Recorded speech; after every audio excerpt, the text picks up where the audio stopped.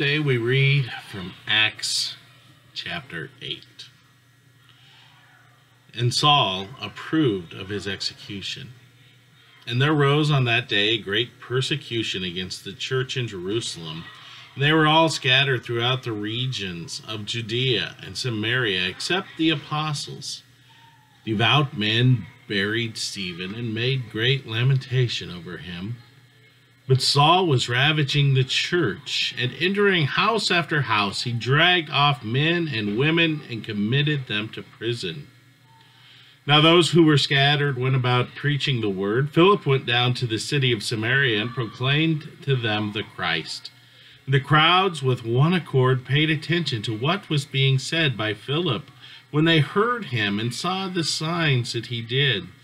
For unclean spirits, crying out with a loud voice, came out of many who had them, and many who were paralyzed or lame were healed. So there was much joy in that city.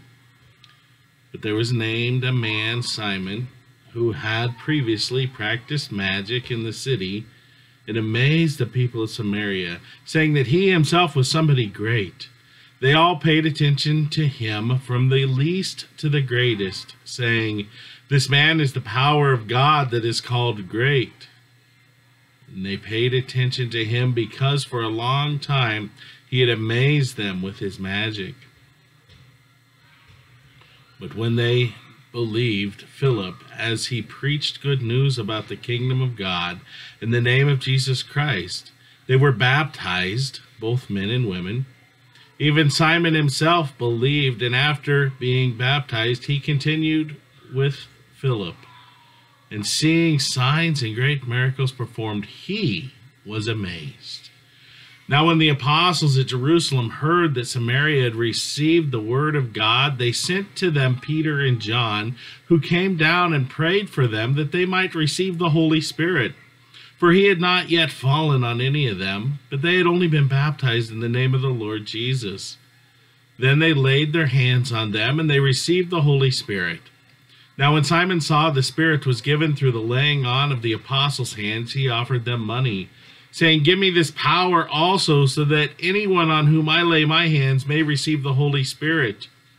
But Peter said to him, May your silver perish with you, because you thought you could obtain the gift of God with money.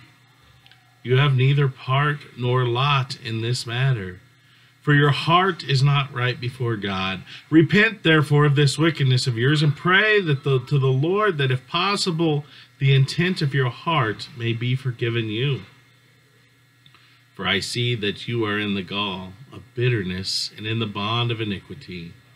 And Simon answered, Pray for me to the Lord, that nothing what, of what you have said may come upon me. Now, when they had testified and spoken to the word of the Lord, they returned to Jerusalem, preaching the Gospels in many villages of the Samaritans. Now an angel of the Lord said to Philip, Rise and go toward the south to the road that goes down from Jerusalem to Gaza. This is a desert place. And he rose and went there, and there was an Ethiopian, a eunuch, a court official of Candace, queen of the Ethiopians, who was in charge of all her treasure.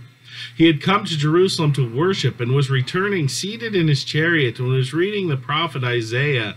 And the Spirit said to Philip, Go over and join this chariot. So Philip ran to him and heard him reading Isaiah the prophet and asked, Do you understand what you are reading? And he said, How can I unless someone guides me? And he invited Philip to come and sit with him. Now, the passage of scriptures he was reading was this like a sheep, he was led to the slaughter, and like a lamb before its shears is silent, so he opens not his mouth. In his humiliation, justice was denied him. Who can describe his generation? For this life is taken away from the earth. And the eunuch said to Philip, About whom I ask you, does this prophet say this? About himself or about someone else?